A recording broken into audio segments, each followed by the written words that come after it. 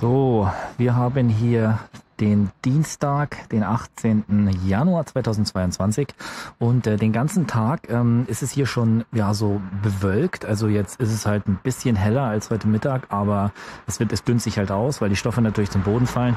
Aber ich würde hier gerne noch mal so wirklich den Himmel noch mal offen haben und ähm, ein bisschen mehr als jetzt und deswegen werde ich mal das hinzugeben, was fehlt und das ist Wärme. So, wie mache ich das? Ich habe hier den, äh, den Cambuster ausgerichtet, genau in die Richtung. Ich werde hier auch nichts umstellen, sondern stattdessen werde ich das Ganze abisolieren, so wie wir das hier jetzt vor uns sehen, mit einer ja, metallisch beschichteten Folie, ähm, dass die Wärme wirklich äh, gespeichert ist und nur in Richtung Ausrichtung in Richtung Rohrausgang austreten kann. Und dann wird da noch eine Wärmflasche rein platziert, genau in die Mitte. Dann machen wir das hier wieder alles schön zu. Wunderbar. Und da drin läuft auch noch eine Möbiusspule. Und dann schauen wir mal, was das Ganze bewirken wird. Ich bin sehr zuversichtlich, denn Wärme bedeutet eben Teilchenbewegung und das ist genau das, was uns hier jetzt gerade fehlt. Im Winter generell ist einfach die Bewegung, ne? die, die Energie ist äh, sehr niedrig durch die Abwesenheit der Sonne, durch den niedrigen Sonnenstand und alles schläft ein bisschen ein. Das kennt man ja aus dem Winter. Und deswegen bringen wir jetzt ein bisschen Energie rein in Form von Bewegung und starten ein schönes Zeitraffer.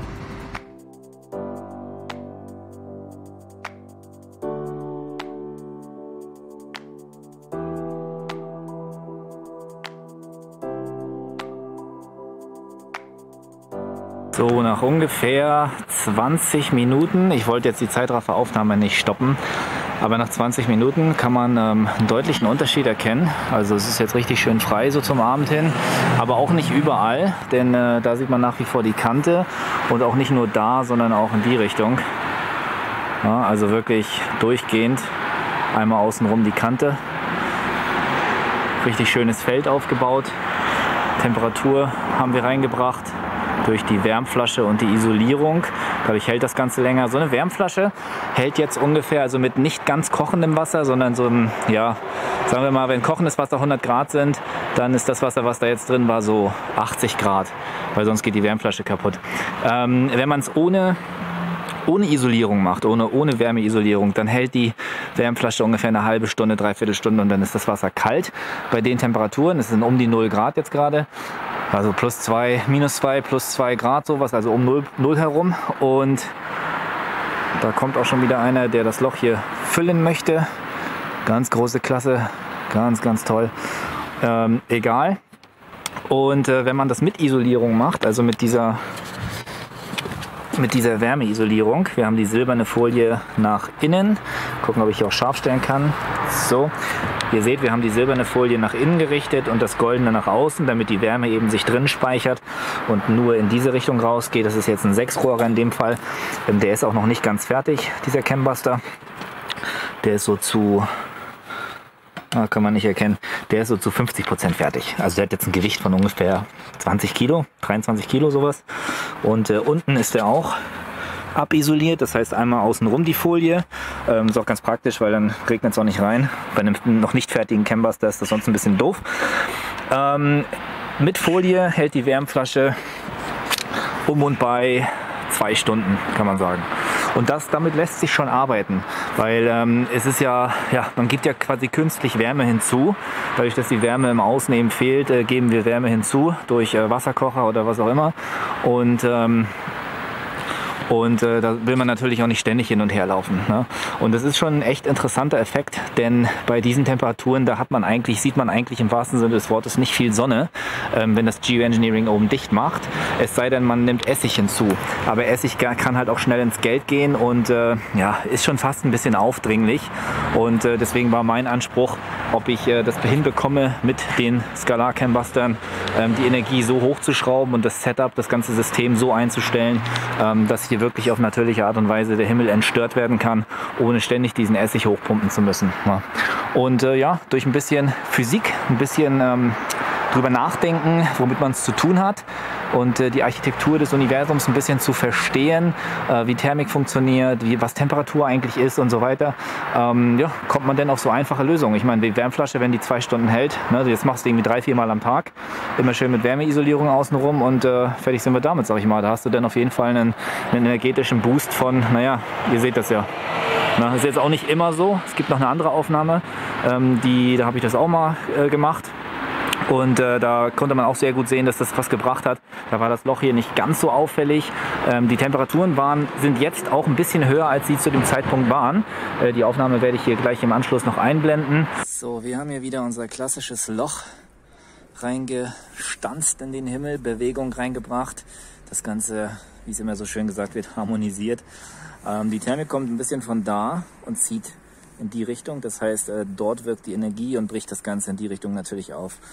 Und äh, damit man auch den Vergleich hat zu außenrum. So sieht es außenrum aus. Statisch, strukturlos, auch in die andere Richtung. Ja, einfach nur kalt. Wir haben ja gerade Polarluft. Ja, es ist ja ziemlich kalt überall. Und ähm, man darf verstehen, dass Temperatur ist Bewegung, also Teilchenbewegung. Je mehr sich die Teilchen bewegen, umso höher ist die Temperatur. Das bedeutet, wir haben sehr wenig Bewegung gerade an, in der Atmosphäre. Und ähm, dadurch wirken Cambuster auch schwächer, also bei, bei Kälte wirken Cambuster schwächer als bei, bei Wärme, deswegen ist es im Sommer stärker.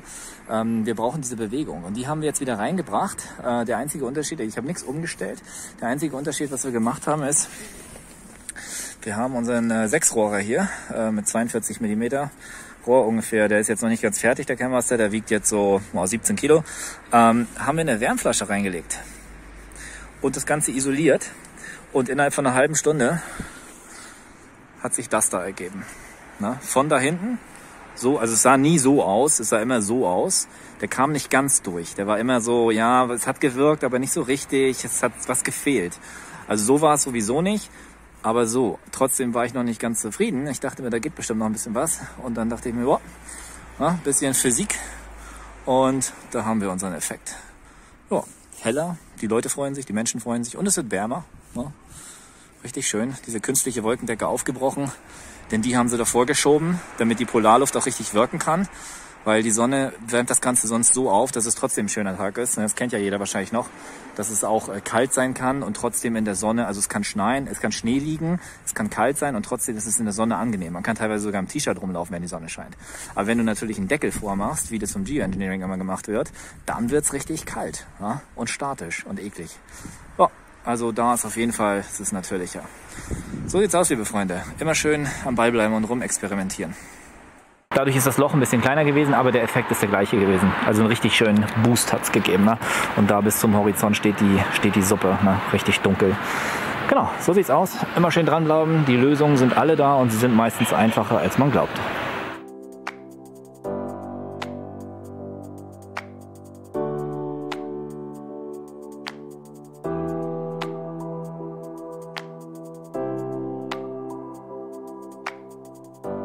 So, ungefähr eine Stunde 15 Minuten. Ich bin mir gerade nicht ganz sicher. Später.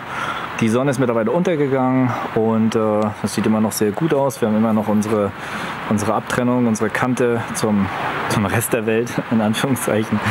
Ähm, die Leute freuen sich, also in die Richtung ist München. Das heißt, da sind nicht wenig Menschen, die äh, nochmal einen relativ blauen Himmel hatten. Jedenfalls besser als diese komische Suppe da hinten. Ähm, auf dem Nachhauseweg von der Arbeit nochmal gute Laune bekommen. Und ähm, genau, jetzt äh, zieht es hier so ein ganz bisschen wieder zu, aber man kann immer noch sehen, äh, dass der Ring sich, wie gesagt, ausbildet, auch in die andere Richtung.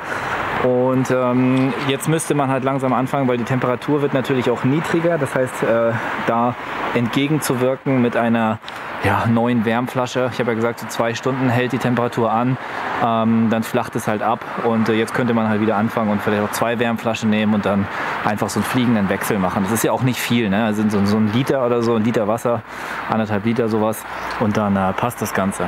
Genau, und die Basis von dem Ganzen ist natürlich in allererster Linie erstmal ein äh, vernünftiger Orgonit, also ein vernünftiger Cambuster, der stark gebaut ist.